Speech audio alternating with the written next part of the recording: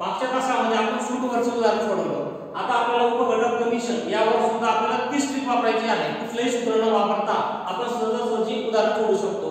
बघा उदाहरणामध्ये तुम्हाला बाराशे रुपये क्विंटल दराने आठ क्विंटल कांदा विकला आहे. म्हणजे तुम्हाला या ठिकाणी एकूण दर किती एकूण दिलेला आहे बाराशे रुपये क्विंटल. आणि कांदा किती विकला आहे? आठ क्विंटल कांदा विकला आहे. आणि नंतर तुम्हाला आलं दिले दोन पॉईंट पाच टक्के. तर आपल्याला तेच करायचं आहे. किंमत दिलेली होती. याचा आपल्याला काय करावं लागेल? तक्ता करावा लागेल. विक्री किंमत. आणि सूट.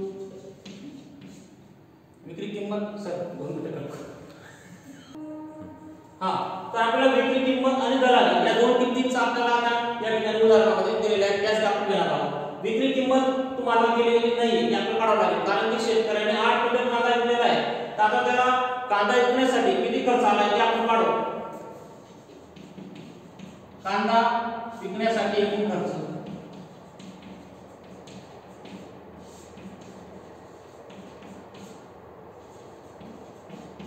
बाराशे गुणिला आठ किती झाले? बारा हज़ार सहाशे रुपये झाले. आता एकूण खर्च आता एकूण खर्चाची निगडीत आपल्याला दलाली. आता विक्री किंमत किती हज़ार सहाशे रुपये. दलाली एक्स मानू आपण या ठिकाणी. टक्के दिले अडीचशे टक्के पाच टक्के. मी तुम्हाला सांगितलं होतं दलाली ही शेकड्यावरती संबंध असते. म्हणजे आपल्याला शंभरची निगडीत आहे ती. ते आपण काय करू? दोन पूर्णांक पाच करू. इथं पण आपल्याला तेच करायचं आहे तितकंच गुणाकार करायचा आहे. तर त्या ठिकाणी नऊ हजार सहाशे गुणिला दोन पूर्णांक पाच बरोबर एक्स गुणिला शंभर. गणिताच्या नियमाप्रमाणे एक्स आपण स्थिर ठेवू नऊ हजार सहाशे गुणिला दोन पूर्णांक पाच भागिला शंभर बघा दोन शून्य गेले दोन शून्य गेले आता शहाण्णव गुणिला दोन पूर्णांक पाच आपण गुणाकार करणार आहोत त्यासाठी काय करावं लागेल आपल्याला? शहाण्णव गुणिला आधी आपण पूर्ण पंचवीस गुणाकार करून घेऊ. बरोबर? पंचवीस सर दीडशे आठच्या पंधरा पंचवीस नऊ पंचवीस दोन म्हणजे दोनशे पंचवीस. दोनशे पंचवीस आणि पंधरा झाले? दोनशे चाळीस झाले. बरोबर?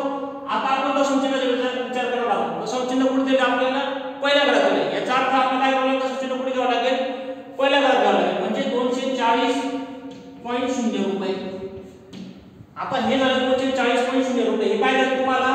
नऊ हजार सहाशे वर दर दराले पण आपल्याला विचारलं काय प्रश्न शेतकऱ्याला किती रुपये मिळाले? याचा आपण त्या ठिकाणी शेतकऱ्यास मिळालेले रुपये.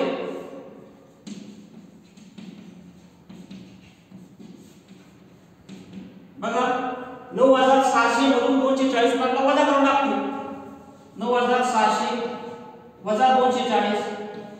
बघा शून्यामधून शून्य गेला.